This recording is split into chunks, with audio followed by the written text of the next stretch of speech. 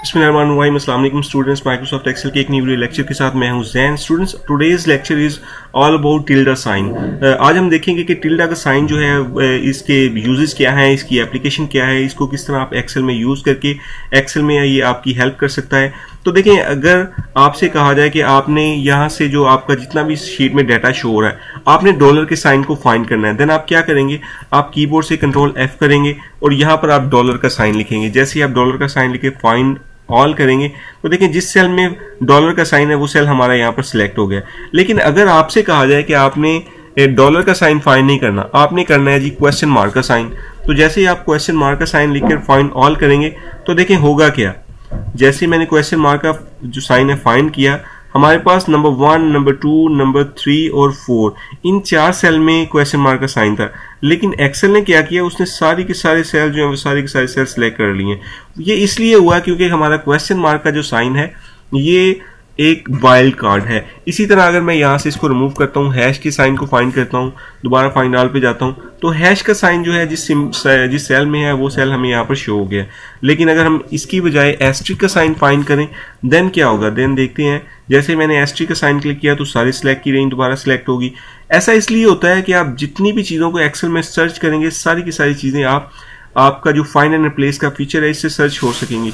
लेकिन जो आपका एस्ट्रिक का साइन है और क्वेश्चन मार्क का साइन है ये आप सर्च नहीं कर सकते। Because of these symbols are wild card ये सिंबल जो है ये वाइल्ड कार्ड हैं इसलिए आप इनको यूज़ नहीं कर सकते।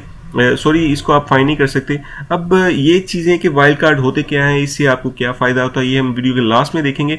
अब हम थोड़ा सा देख लेते हैं कि अगर आपको ये दोनों वर्ड जो है इनको सर्च करना पड़ जाए देन आप कैसे करेंगे? आपने क्या करना है? आपने कीबोर्ड से कंट्रोल एफ़ की प्रेस करनी है।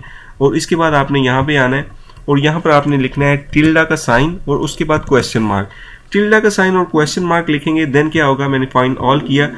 और जिन सेल में आपके पास क्वेश्चन मार्क है, ये देखें, ताहिर रियाज और फरहान मुस्तफ़ा, और उसके बाद ये दो सेल हैं क्वेश्चन मार्क के। तो ये सेल हमें यहाँ पर शो हो जाएँगे बिकॉज़ ऑफ़ टिल्डा जब भी आप क्वेश्चन मार्क को फाइंड करने लगे तो शुरू पर टिल्डा लगा लिया करें। इससे क्या होता है कि आप जितने सेल में क्वेश्चन मार्क होगा, वो सारे के सारे यहाँ पर फाइंड हो जाएँगे। अगर आप इसको रिमूव करें और यहाँ पर एस्ट्रिक का साइन यूज़ करें टिल्डा के साथ देन क्या होगा? ये देखिए मैंने फाइंड ऑल किया। तो जिन सेल में हमारे पास एस्ट्रिक का साइन है, वो सेल हमें यहाँ पर शो हो जाएँगे। अगर आप टिल्डा का साइन यूज़ नहीं करेंगे तन हमारे पास जिन सेल्स में एस्ट्रिक है क्वेश्चन मार्क है, वो फाइंड नहीं होंगे।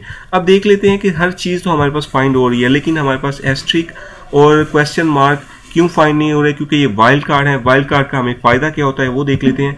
ये देखें, अगर आपसे कहा जाए कि आपने ये जो वर्ड है ए टी के ट्रिपल ए है, इसमें आपने के और ए को रिमूव करना है, उसके बाद दो ए जो है, ये यहाँ पर रहें। और बाकी सारे का सारा वर्ड यहाँ पर आप क्या करेंगे? आप कीबोर्ड से कंट्रोल एच की प्रेस करेंगे।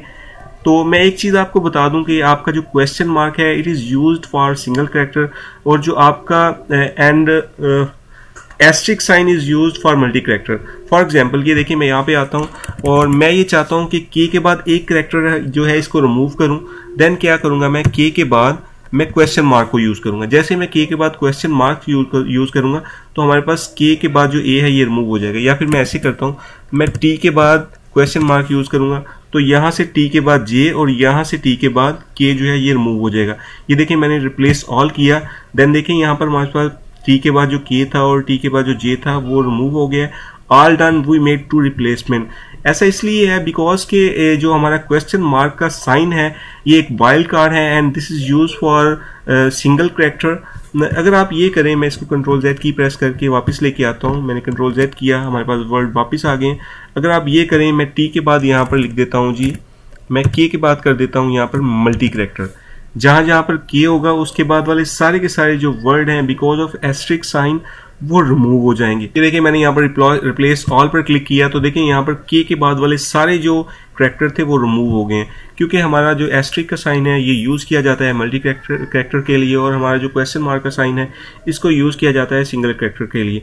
तो इसलिए हमारा एस्ट्रिक का साइन और हमारा क्वेश्चन मार्क का साइन ये दोनों हमारे वाइल्ड कार्ड हैं। हमने वाइल्ड कार्ड का यूज़ सीख लिया, ये समझ लिया वाइल्ड कार्ड होते क्या हैं, और इसके साथ हमने वाइल्ड कार्ड को एक्सेल में फाइंड करने का मेथड भी सीख लिया।